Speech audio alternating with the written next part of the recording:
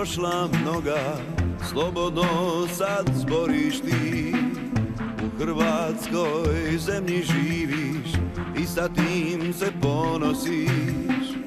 E moj Franjo, svak se klanjo Svemu što si činio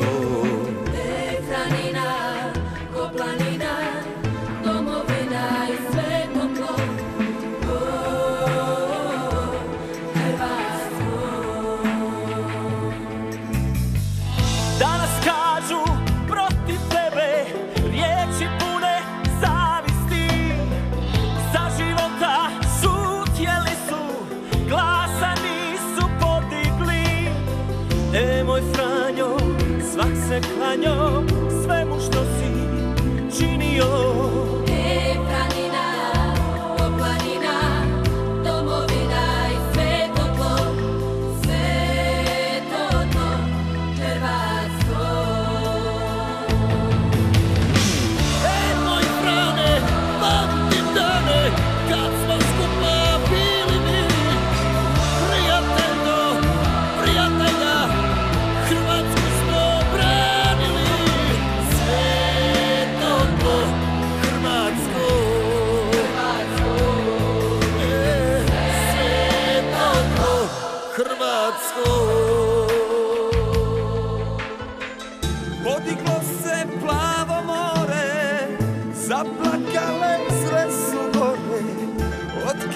tebe više nema, ostala je uspomena.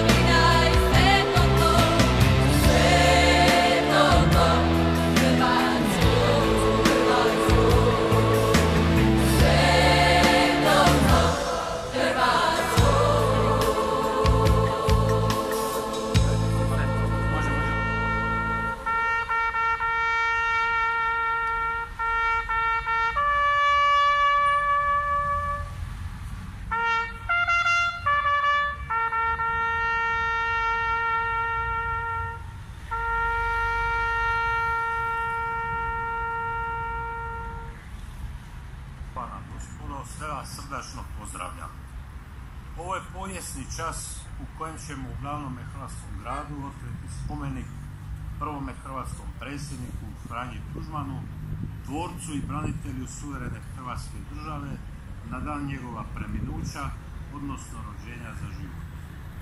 Velika mi je radost i čast biti autorom ovoga kiparskog dijela. Kip koji ćemo uskoro vidjeti portretna je figura simbol koji svojom unutarnjom dinamikom i skladom oblika stoji u istini što govori o izlasku hrvatskog naroda iz ropstva u slobodu. To je oblik što kiparskim jezikom svjedoči o duhovnoj veličini osobe predsjednika Tuđmana, glasnika hrvatske radosne nade i o veličini njegova djela ostvarenog u potpunoj predanosti i ljubavi prema domovini. Stari je to kip po svome kiparskom korijenu, ali nov po duhovnome podrijetlu, okrenut onome gore, transcendentalnome, kao što je novo sve što se odaziva na riječ gore srca. Stoga je to kip živoga Tuđmana, onoga koji ostaje s nama. Naoko jednostavna, a u istinu veoma složena kiparska kompozicija koja figuru istodobno uspravlja, učvršćuje i pokreće. Ta os što skladno dominira prostorom bit će osa znak sigurne osi hrvatske povijesti. 10. prosinca, već 19 godina za cijeli hrvatski narod i naše građane ima osobito značenje. Toga dana 1999. godine preminuo je prvi predsjednik suverene i samostalne Republike Hrvatske, dr. Franjo Tuđman. I upravo toliko godina Zagrebčanke i Zagrebčani, ali i cijeli hrvatski narod čekaju trenutak kad će mu se i u glavnom gradu Zagrebu podići spomenik. Današnji dan ujedno je i Međunarodni dan ljudskih prava. Dr. Franjo Tuđman znao je da se ideal temeljnih ljudskih prava ne može u potpunosti ostvariti u narodu koji nije slobodan. Još u mladosti taj ga je ideal nosio i vodio. Nadahnut njime uključio se i u antifašistički pokret. No vrlo brzo, nakon završetka rata, uvidio je da nova država nije ostvarila ljudske, socijalne i nacionalne ideale hrvatskog naroda. Pretrpjevši velika ratna i poratna stradanja, razjedinjen ideološkim podjelama i opterećen nepravednim stigmama, hrvatski narod bio je u bivšoj državi osuđen na drugorazredni položaj. Mnogi Hrvati nisu se time mirili, ali malo je bilo onih koji su imali jasnu viziju rješenja hrvatskoga pitanja, a još je manje bilo onih koji su ga znali realistično oblikovati i provoditi. A Franjo Tuđman to je znao. Izložio se radi toga cilja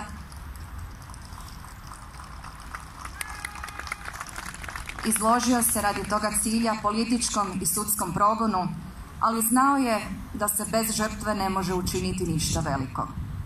Već 60. godina odvažio se uputiti u hrvatsko iseljeništvo i zatražiti potporu za program nacionalne pomirbe. A 80. godina i za nikada ne ispuštajući iz vida temeljni cilj, slobodnu i neovisnu Hrvatsku. Utemeljivši Hrvatsku demokratsku zajednicu kao sredstvo njegova ostvarivanja, crpio je vrijednosti i pouke iz baštine hrvatskih kneževa i kraljeva, Zrinskih i Frankopana, Gupca i Radića, Štrosmera i Starčevića, Hrvatske ljevice i desnice, u svemu tražeći elemente nacionalne sinteze. I sve je to ugradio u svoje veliko spisateljsko djelo, a onda i u prvi hrvatski ustav.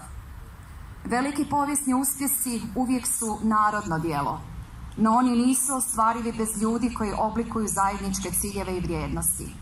A dr. Franjo Tuđman bio je u tome izniman, velik i jedinstven, dosljedan i dostojanstven, jednako kao vizionar, politički i vojni strateg i državnik.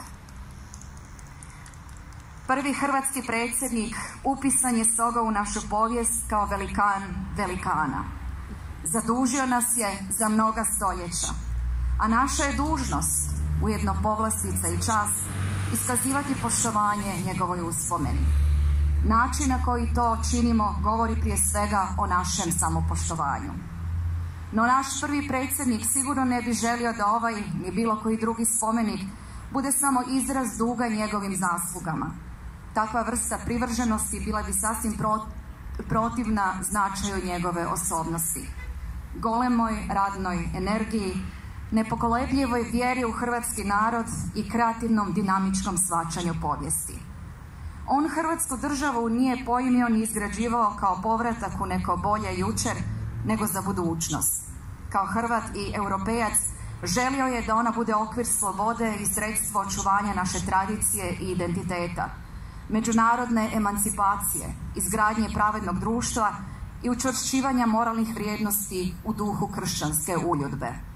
Njegov usklik imamo Hrvatsku u govoru nakon primanja Republike Hrvatske u Ujedinjene narode značio je ne samo konstataciju jedne povijesne činjenice, nego i trajno prihvaćanje zadaće zajedničke i osobne odgovornosti svakoga od nas za budući život i razvoj Hrvatske i hrvatskoga naroda. Stoga bi umjesto nadmetanja u osporavanju ili veličanju Tuđmana mnogo produktivnije bilo reaktualizirati i reafirmirati bitne vrijednosti njegove baštine i ugrađivati ih u političku osnovu dalje izgradnje hrvatskog društva i države.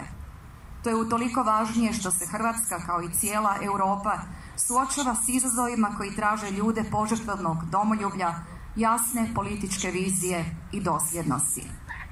Hrvatski narod volio je svojega predsjednika. To je znao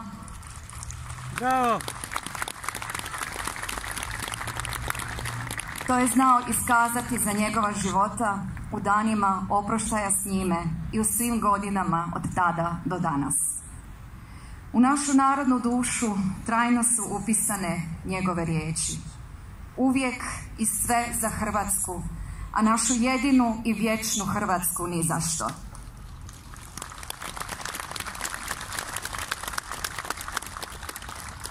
Te su riječi upisane kako jučer, tako danas i zauvijek. Ovaj spomenik u glavnom hrvatskom gradu Zagrebu neka tome bude trajni pečat i svjedočanstvo. Hvala vam.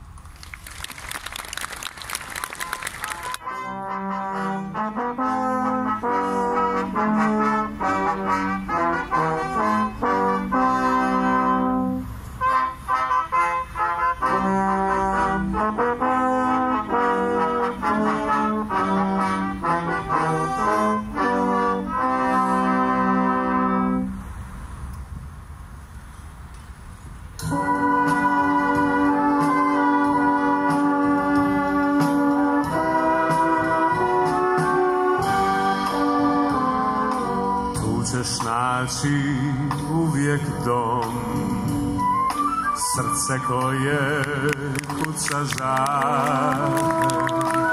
Ruku da te prati Majku da te shvati Znaćeš sve što treba znati.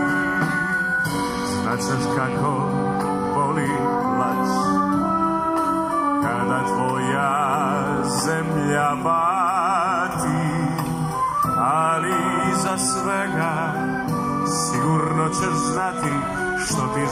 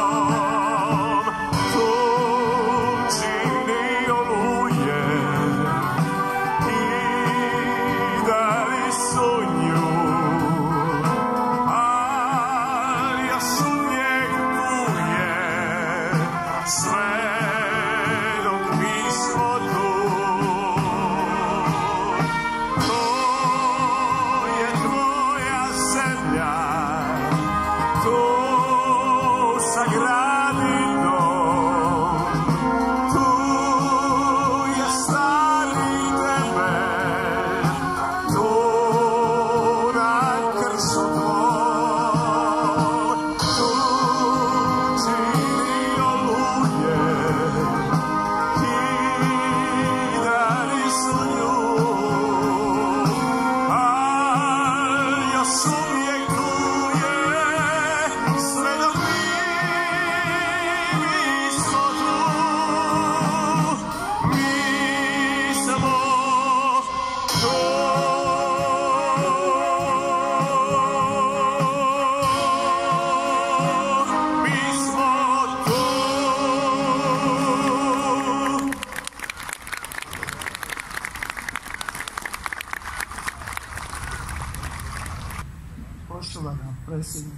Republike Hrvatske, poštovani predsjedniče Hrvatskog sabora, poštovani predsjedniče Vlade Republike Hrvatske, poštovana zamjenica gradonačelnika, poštovana obitelj Tužman cijenjene dame i gospodo.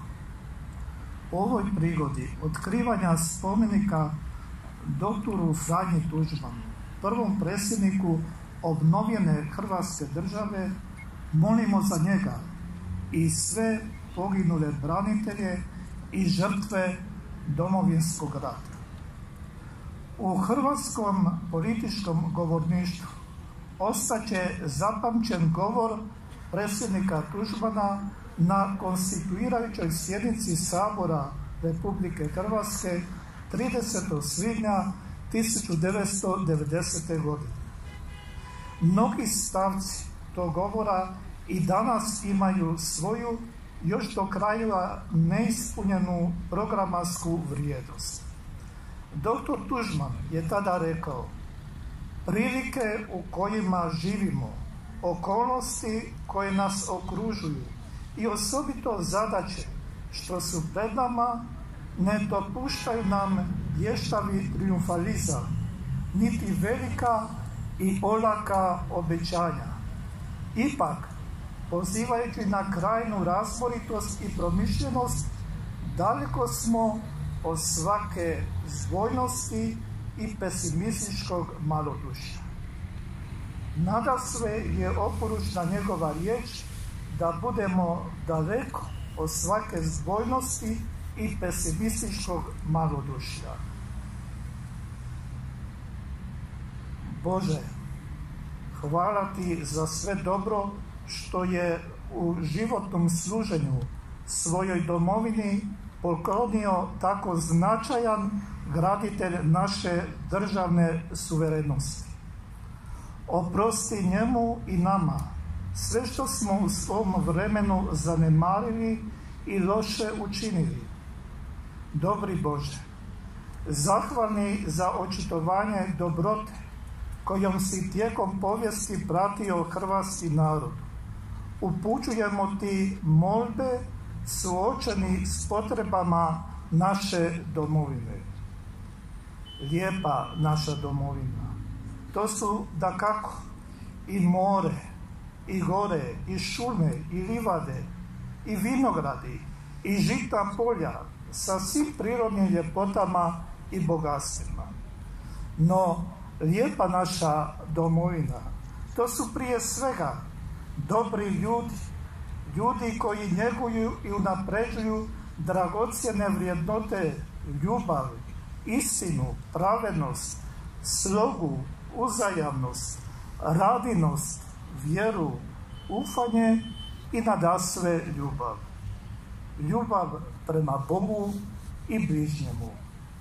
Bože, ti vidiš naše strepnje, tjeskobe i čežnje. Ne napusti nas i ne uskrati nam svoja nadahnuća, da ne odustanemo od zalaganja za slobodu i istinu.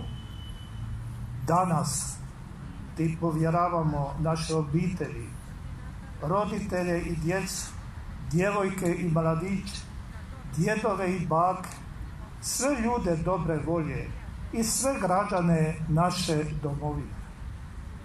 Povjeravamo ti navjestitelje vjere, odgojitelje i učitelje, znanstvenike i umjetnike, sve koji se brinu za zdravlje ljudi, koji ublažuju boli i umanjuju samoću. Povjeravamo ti predstavnike građanskih vlasti, donositelje zakona, promicatelje pravednosti i čuvare mira. Dobri Bože, učvršćuj našu vjeru, obnavljaj nam nad da bismo promicali civilizaciju ljubavi. Svemogući Bože, čuvaj nas, čuvaj našu braću i sestre širom svijeta. Čuvaj dragu nam domovinu Hrvatsku. Amen.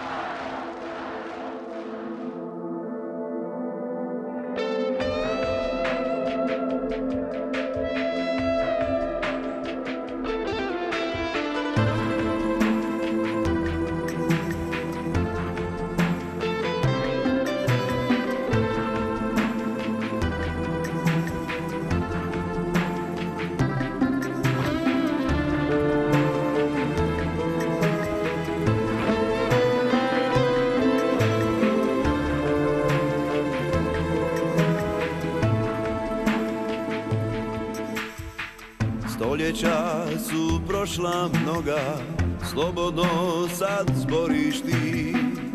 U Hrvatskoj zemlji živiš i sa tim se ponosiš.